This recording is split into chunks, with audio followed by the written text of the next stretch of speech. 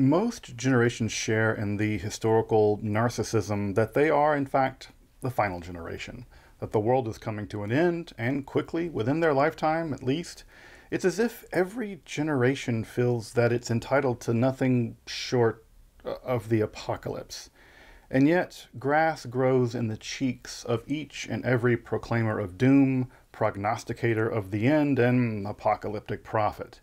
But I will admit that there are some generations that a sense of impending doom is more or less reasonable given their historical circumstances. Honestly, for some time periods, it seems to be a very reasonable and reasonably widespread belief that the world was coming to a horrifying conclusion. Indeed, the year 536 has been declared by historian Michael McCormick to be the worst year in history for the West, and even for China for that matter.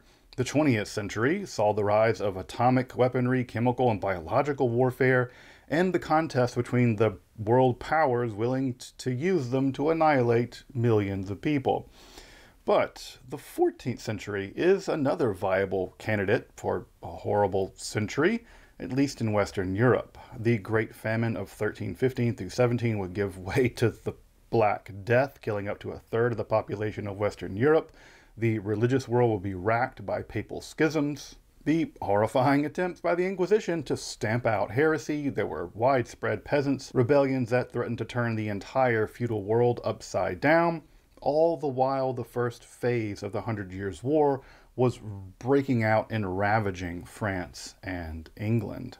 Into what Hegel has, I think, very rightly called the butcher bench, the slaughter bench of history, a Catalan Franciscan issued dire predictions about the rise of the Antichrist and the impending millennium.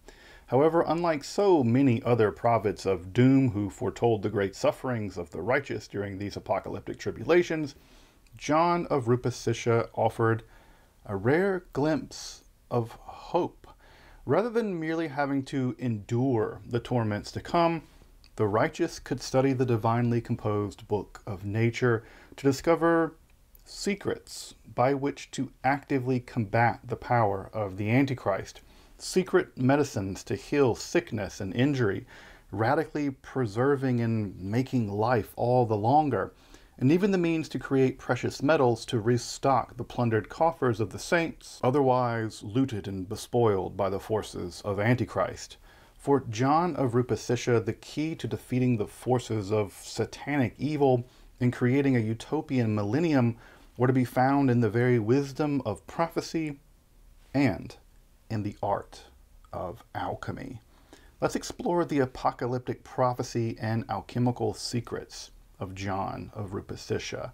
Now, if you're interested in magic, hermetic philosophy, alchemy, like this episode, Kabbalah, or the history of the occult, make sure to subscribe here to Esoterica. Also, check out my other content on topics in esotericism, including curated playlists on a range of sources.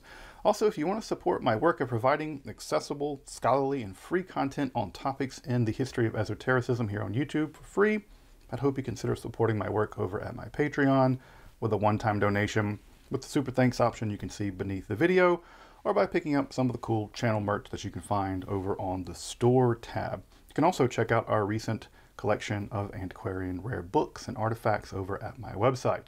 But now let's turn to the apocalyptic war against the Antichrist, using the weapons of prophecy and alchemy. I'm Dr. Justin Sledge, and welcome to Esoterica, where we explore the arcane in history, philosophy, and religion.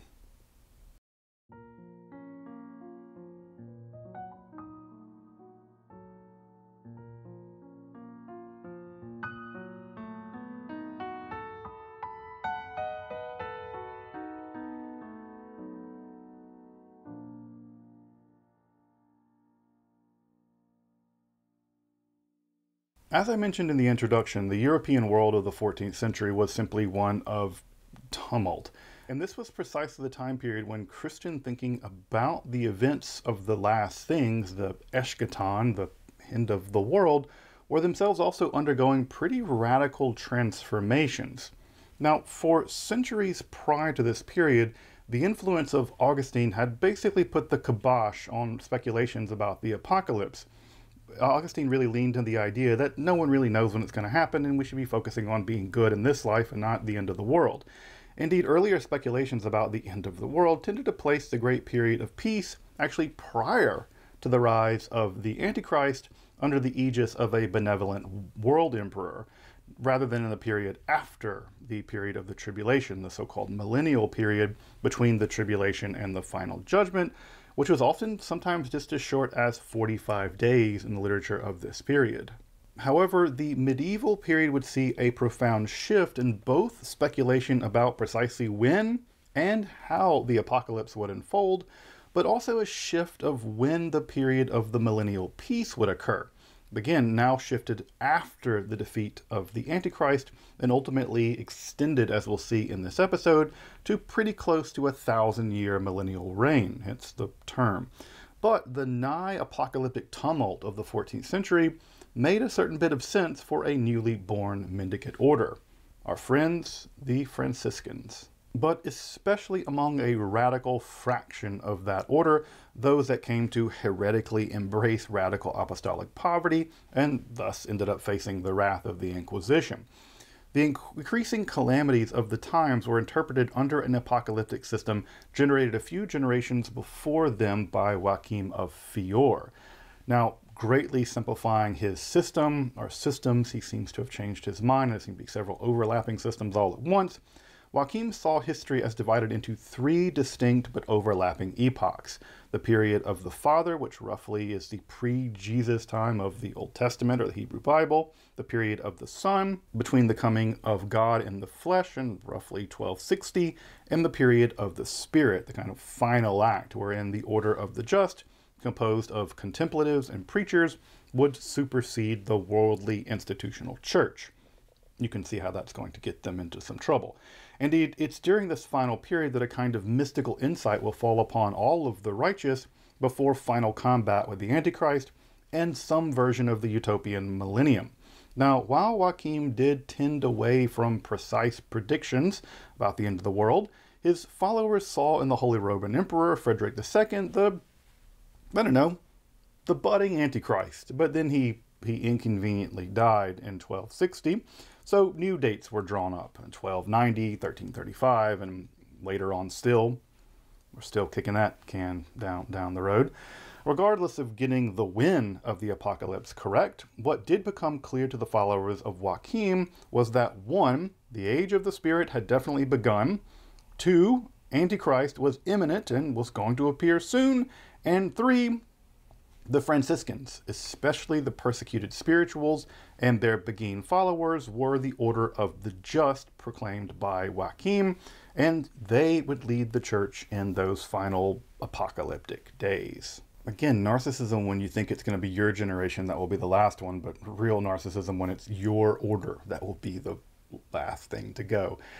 And it was into this matrix of spiritual reform, apocalyptic incitement, and several nightmarish decades of the 14th century, along with a heavy dose of prophetic frenzy, that John of Rupescissa would develop his own combination of apocalyptic speculation and the alchemy. The alchemy meant to not only endure the onslaught of the Antichrist, but to bankroll the construction of that utopian millennium. You can't build a utopia with no money. And as for John, as we'll see, we don't know much about him. Nothing is known about his early life. But sometime around 1310, we learned that he studied uh, for around five years in Toulouse, starting in around 1332. But he found the academic world spiritually sterile and basically philosophers and theologians just bantering around a bunch of nonsense. I hate to tell you, John, it hasn't changed much. Now, it's here that he probably became acquainted with the more radical fractions of the Franciscans, who were especially active in that region, along with the Inquisition, along with the prophetic structures and writings of folks like Joachim of Fiore and the practice of alchemy. We then later find him in a Minorite monastery sometime in Rouillac uh, around 1340 to 1344 and it would be in 1344 that he would find himself basically in and out of prison or other forms of house arrest or sometimes of institutional custodialship for the rest of his life. The next 20 years of his life to the very end of his life, he's just in and out of various kinds of dungeons and prisons and house arrest. Now, we don't know why he was first imprisoned. It seems possible that his prophetic proclamations, especially those critical of the institutional church or him siding with the spiritual Franciscans or their Beguine counterparts, that could have that could have all led to him being arrested. But he doesn't appear to actually have written down his prophetic works until after he was imprisoned. So maybe he was preaching them or teaching them, and this ultimately got him pinched. So it's confusing. However, he did have visions prior to his imprisonment, which he was actually kind of skeptical of at first, especially one in which he saw the Antichrist. The Antichrist is a big theme this episode. He saw the Antichrist as a child in a far off city that he only knew as Zaton. Apparently, he didn't make much of this dream until a local bishop informed him that Zaton was a real place. It existed. In fact, it was the Arabic name of the coastal Chinese city of Guangzhou, which very much put wind in his sails. I mean, he had a dream about a city, and turns out it was real in China. So we don't know why he was first in prison. Further, the conditions of his imprisonment are often just as perplexing. In some cases, he seems to have been cast in chains into the most stereotypical kinds of medieval dungeons, and in other cases, he pretty clearly has access to reams of expensive parchment and writing materials. His alchemical equipment also seems to probably be there with him at some point, and his writings on both topics, uh, they all easily travel out of his confinement. They, he writes and he's able to disseminate this stuff out of prison. Now, if the church wanted to shut him up, they clearly weren't trying especially hard. I mean, this was a period of extreme activity by the Inquisition, and having, I don't know, spiritual Franciscans burned alive was just kind of what you did on. That was just like a Tuesday. So, if they wanted to shut him up, they weren't really trying that hard.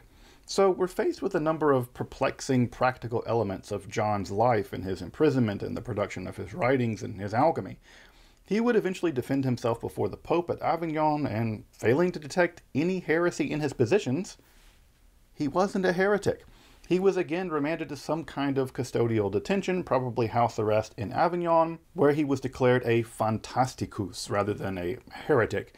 Maybe this is something akin to not guilty by reason of insanity, but we don't we don't know.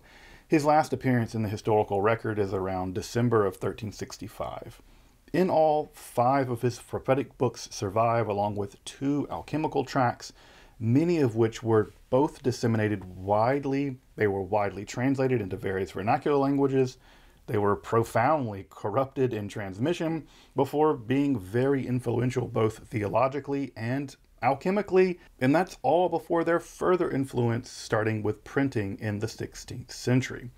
So, let me just say something briefly about the problem of recovering John's original works, especially his alchemical titles. As I mentioned a moment ago, his work did prove enormously unpopular, sometimes because it was confused with the work of Raimondo Lull, but and Raimondo Lull didn't write that stuff. Any whatever. In the centuries after his death, as is often the case with enigmatic texts, and well, prophecy and alchemy are nothing if not enigmatic. Later copyists, theologians, and technicians are often doing as much interpreting those works and interpolating their own interpretation into those texts as they are just straight translating them.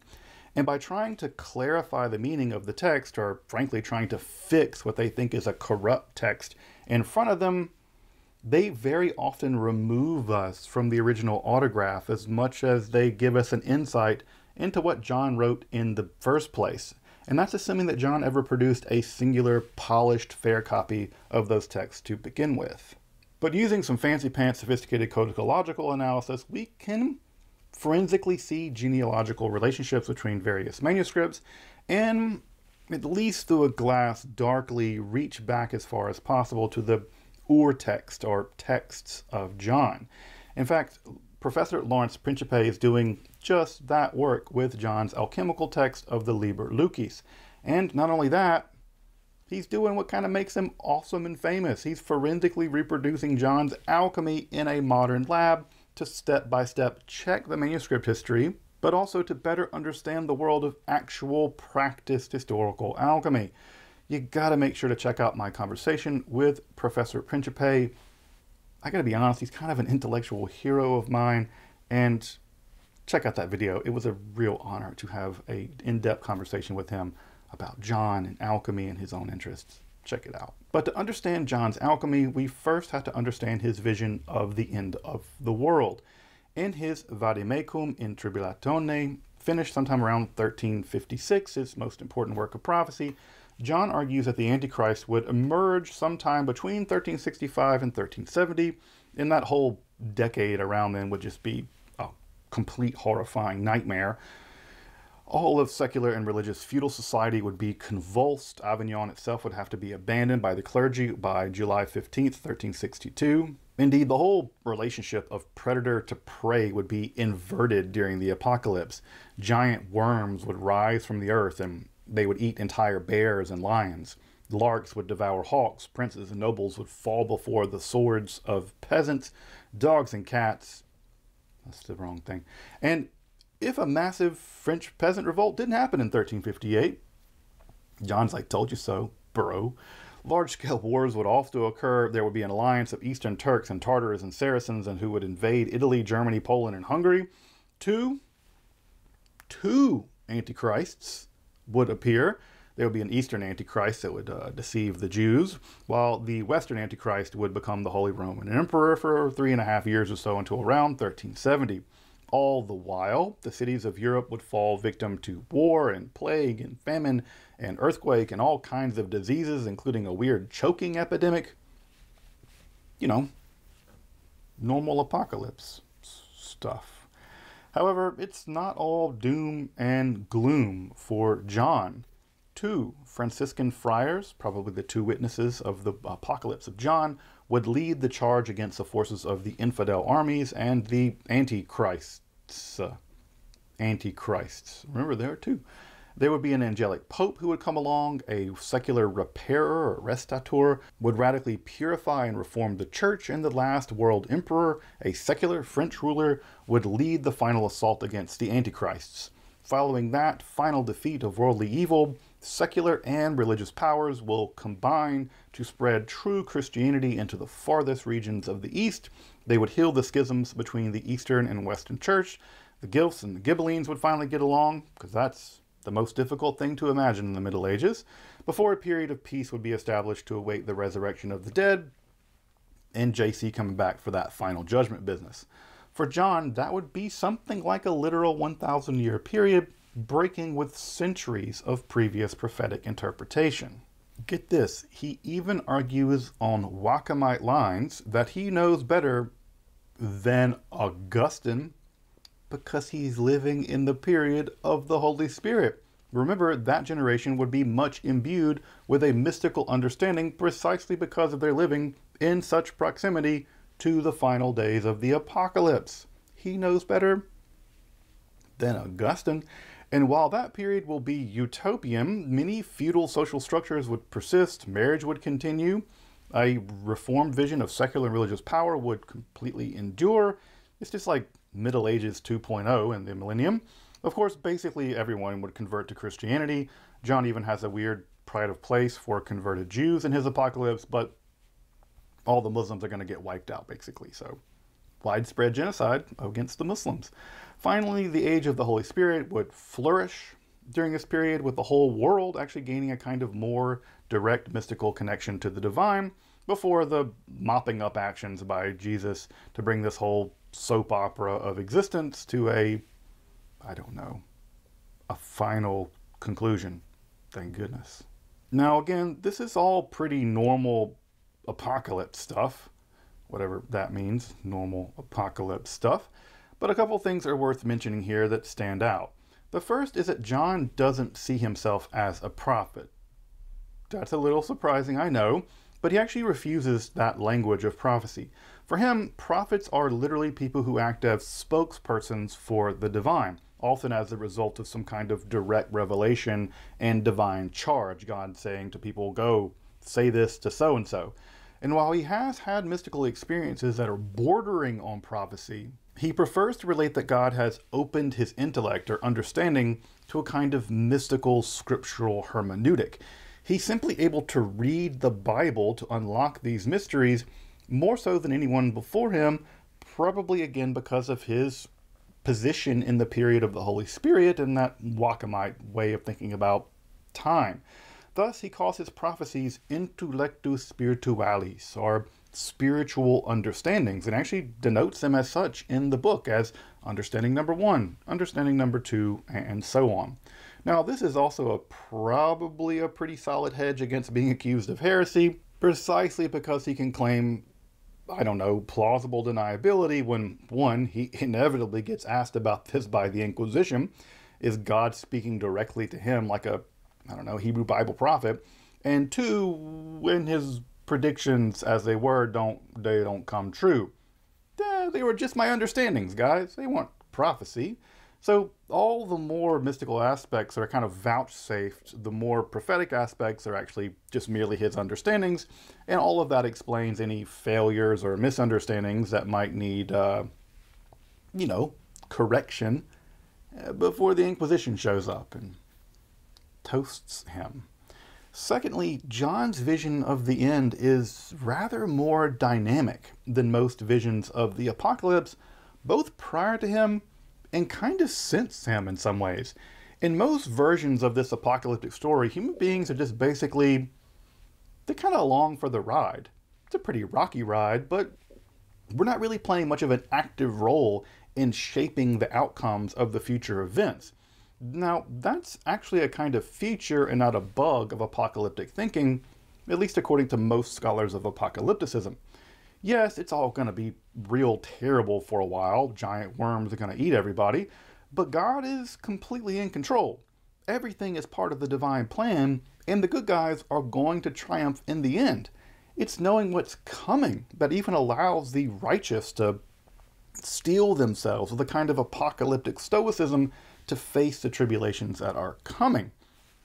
John's apocalypse is, how might we say? It's more interactive. Human agency plays a rather significant role in the entire unfolding of the events. Now, the, the big parts we don't get to control, but kind of everything in the middle we do. Kind of Dungeons and Dragonsy in that way. In fact, he even urges the readers of his text to to hide dried food and even weapons in caves so they can go in there and hide and defend themselves during the horrifying period of the tribulation. It's like he's urging people to become medieval preppers. This might be the first preppers in all of literature. I don't know.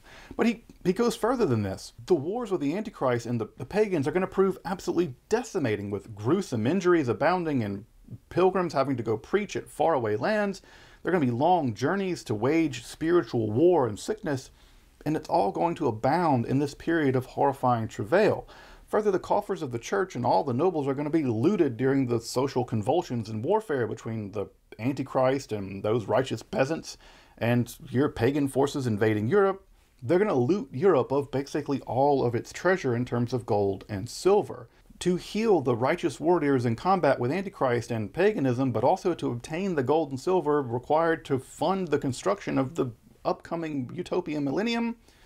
Following the defeat of that evil, John of Rupescissa turns to the art of alchemy. And those two concerns, the creation of healing elixirs, which can also greatly extend life, along with the production of gold and silver, are at the heart of the two alchemical works that have come down to us the Liber de Consideratione Quintae Essentiae and the Liber Lucis.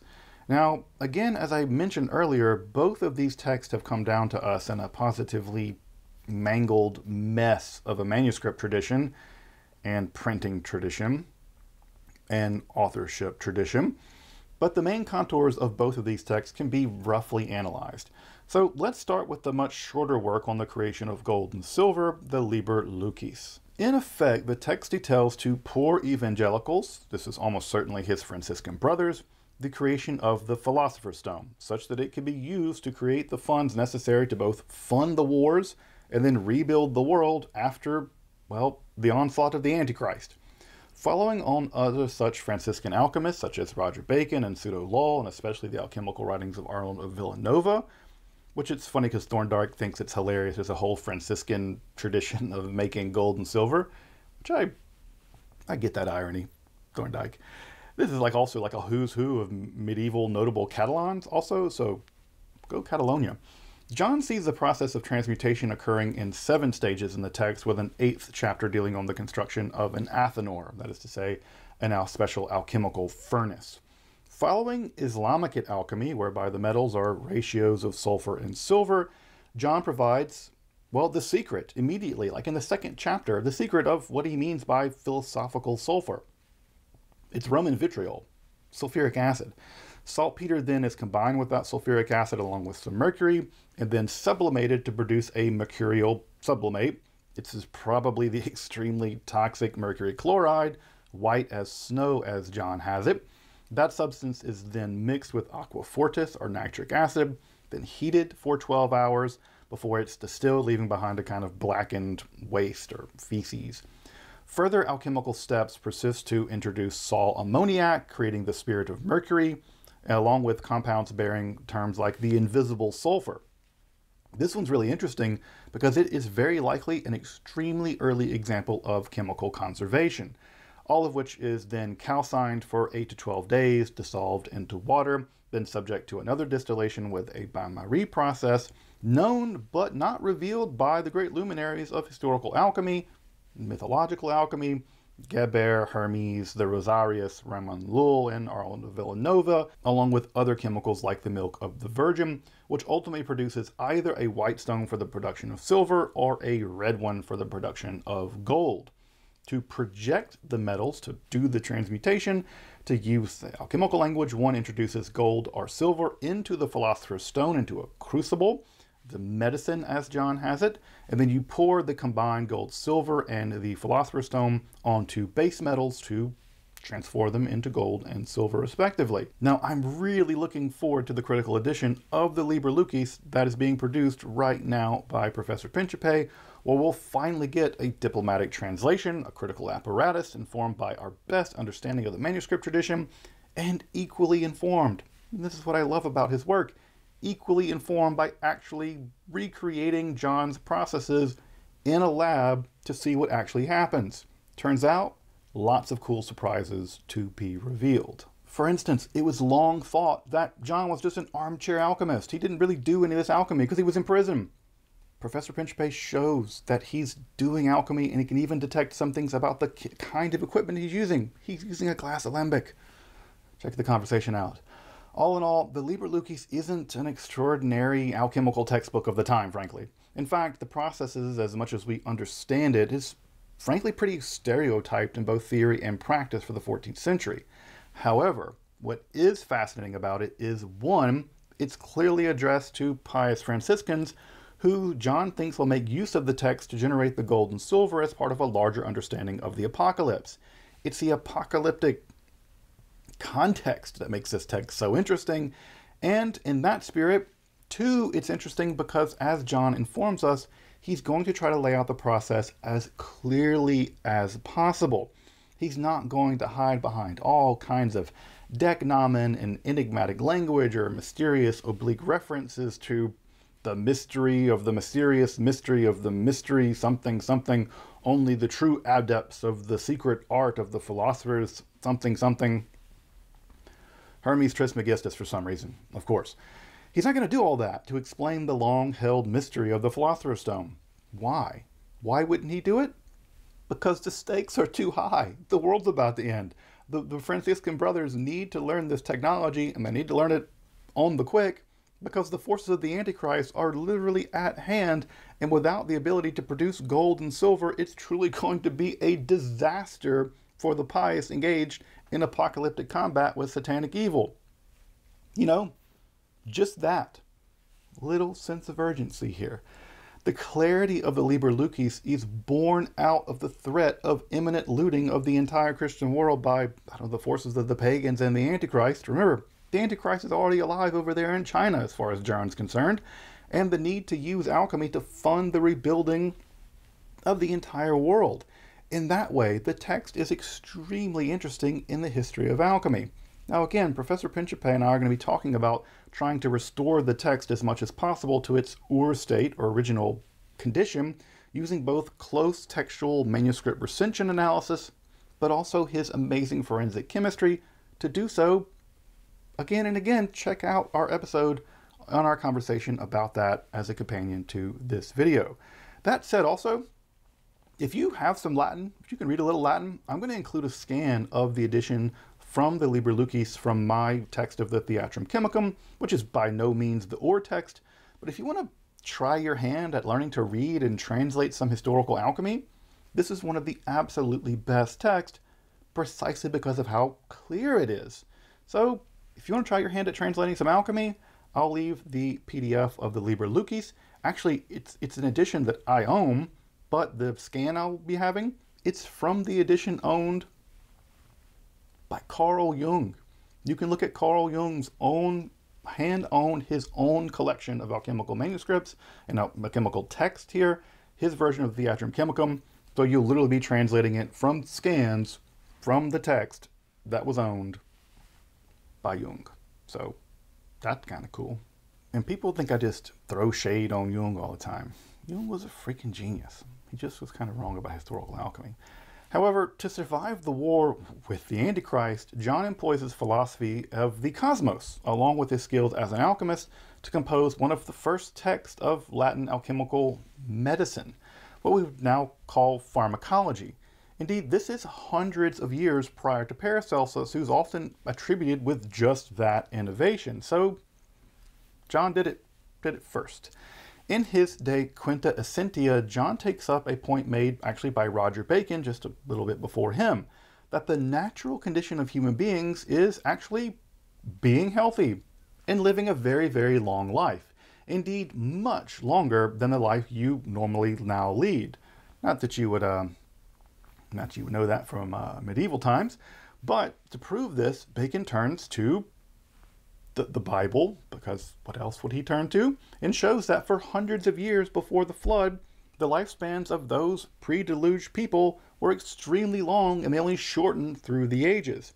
Thus, if it is our fallen nature and our sublunar position in the cosmos that subjects us to both generation and corruption, to use the language of Aristotle, perhaps there is some means through art, artifice, rather than just nature, that we might provide aid to our own nature and thus heal sickness and old age brought about by nature. Thus, alchemy in this sense is not aimed at the production of gold or silver, but of health and life itself.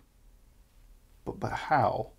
To understand this, we have to understand why we age, why we get sick, and why we eventually die according to the Aristotelian infused medieval Islamic medical theory inherited by the Europeans.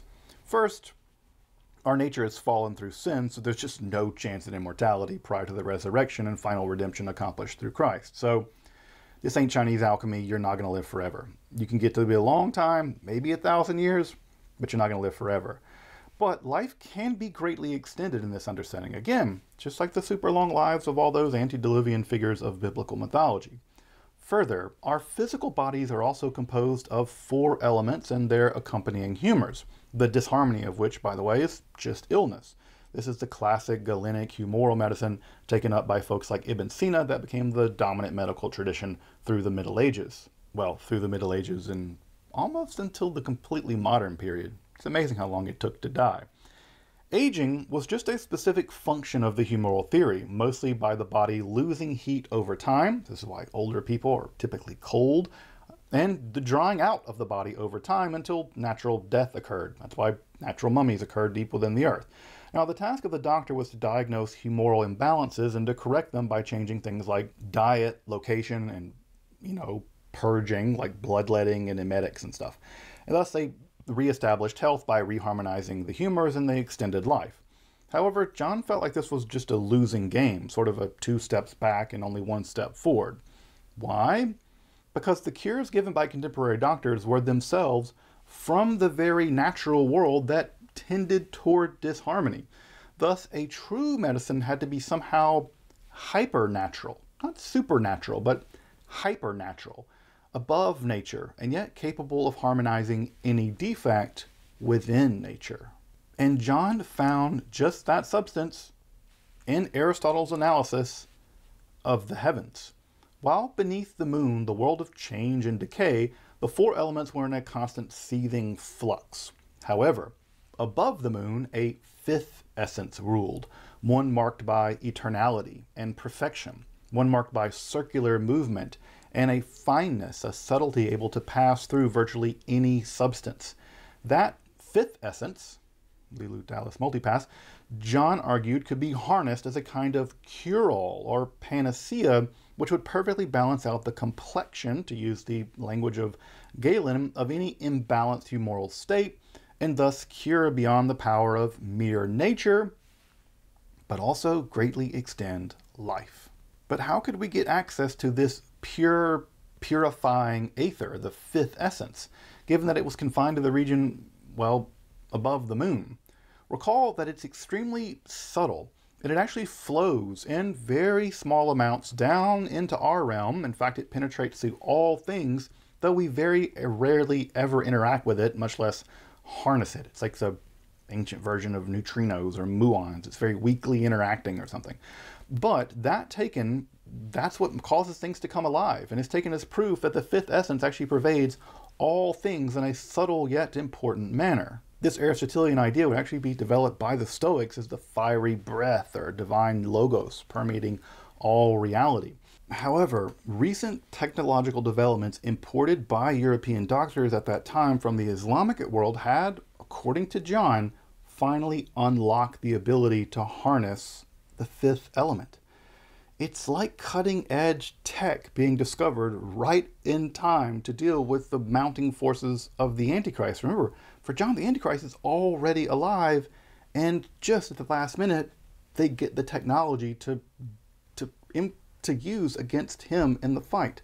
Probably following upon the works of folks like Thaddeus Alderatus, a recent technology had discovered a substance that seems to be like all four elements at once, and yet seems to transcend them in some ways. It was similar to water, but it could burn. It was like air, but it wasn't warm and humid. It was hot, but it wasn't like the cool, dry earth. But it wasn't like fire either because it actually cured and cooled down fevers. It was wet, but it didn't produce melancholy when consumed. Rather, much the opposite. It burned when it was tasted, but it was it weirdly left the skin cool as it evaporated. This quintessence actually had cured John in his dungeon. One of his legs had become infected. Uh, the, the leg irons he was wearing caused a wound to fester. In fact, it became so infected with maggots he could cast them away by the handful, he says. He requested the quintessence and he carefully poured the elixir over his wound, and what should have been a mortal infection, at least requiring an amputation, it was miraculously healed. For John, the finest expression of the quintessence, the fifth supernal element, it was distilled alcohol, still known to this day as the water of life, eau de vie, whiskey ishkiva, aqua vitae. Yep, the answer was booze. It sometimes is, until it shouldn't be, until it can't be. Now, the quintessence taken from the seven distillations of wine was thought of paragon importance for John. The quintessence was all diffused through every substance, although as well. And the first part of his De Quinta Essentia are just various modes by which to co- mm, create the quintessence from everything from wine to human blood to organic materials and even minerals, especially gold, is actually very easy because it's already so pure. You simply anneal a pure gold Florentine florin and quench it in aqua ardens. And in strong alcohol. It's like Goldschlager or some $97 cocktail in Manhattan. Another tincture, while not printed actually in my Theatrum Chemicum edition, but popular in the manuscript tradition, and one that clearly excited John, was the preparation of the quintessence with the use of iron-rich antimony, probably of Hungarian extraction. Most antimony now comes from China. This was steeped in a heated vinegar, which produces a very vibrant red color before being distilled. It also produces a poison, so that's ironic. Another formula for the so-called milk of virgins also employs extremely toxic mercury sublimate, probably mercurial chloride, similar to the substance, by the way, used in the production of the Philosopher's Stone in the Liber Lucis, and it seems to produce a caustic substance capable of perforating the hand with only a, a few drops.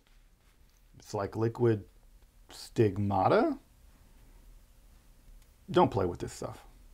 With numerous descriptions of the preparation of the quintessence given, lots of versions of the quintessence given, the second part of the book is a kind of diagnostic medical text for treating numerous diseases and maladies. Basically, almost every malady one can imagine from the Middle Ages leprosy, paralysis, itching, festering wounds, like Rupescissa had, what might be called mental illness today, such as melancholy or fantasy, various kinds of coughs, spasms, madness brought on by hallucinations and bad dreams, even cures for sore feet. Recall that part of what's going to happen here is it's going to be a bunch of wandering mendicant preachers, etc. They're going to have sore feet. It's a panacea. It cures everything. Just some versions of it work better than others. However, the chapter on the plague is surprisingly disconcerting. Recall that John's imprisoned throughout the period of 1348 to 1351 52 during the height of the plague. He himself actually contracted the plague in prison, but managed to survive. Tough as nails, that one. But you'll be surprised to learn that, there, there, that there's no quintessential cure for the Black Death. It's a punishment from God. So you just got to pray and fast and stuff. What do you, it's the Middle Ages. What do you expect? Interestingly enough, there are cures against being bewitched, various forms of sorcery, and of course, of course, demonic possession. The use of the quintessence against demonic possession is curious because that's normally taken to be a kind of spiritual affliction, typically cured through spiritual means, typically through exorcisms. However, John points out that in the book of Tobit, there the angel Raphael extracts an essence a quintessence, the angel Raphael's doing alchemy from the liver of a fish to drive away the demonic Asmodeus. How? Even demons are composed of fine ethereal stuff, and they can be affected by these very powerful medicines. Many of these cures are also potentially amplified if they're prepared and taken at certain astrologically opp- opportune times, but there's nothing really here of a very heavy duty alchemical astrological theory at work in the text, but you do get like some astrology thrown in there. The text of De Quinta Essentia would go on to a huge impact as it was accidentally incorporated into the extensive corpus of alchemical text associated with another Catalan mystic, Raimondo Lull, about 150 texts in the Lullian corpus, and without a doubt, this foundational text of pharmacology would go on to influence Braunschweig and Ulstad and Ruff, and ultimately Theophrastus Bombastus, the man, the myth, Paracelsus, who we typically give credit for the development of iatrochemistry or medical chemistry, medical pharmacology. In this way, the text, in its various corruptions and transmissions and all of this mess, it punches way above its weight in both the history of alchemy and the history of medicine.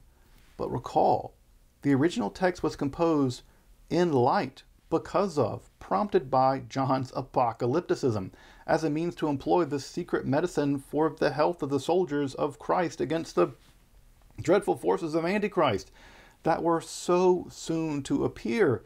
And you do get some sense of that urgency by reading the text.